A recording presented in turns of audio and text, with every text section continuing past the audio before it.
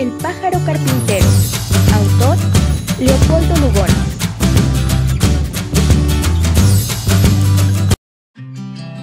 El maestro carpintero de la boina colorada va desde la madrugada taladrando su madero. No corre en el bosque un soplo, todo es silencio y aroma. Solo el monda la carcoma con su revibrante escoplo. Y a ratos con brusco ardor, bajo la onda paz celeste, lanza intrépido y agreste el canto de su labor.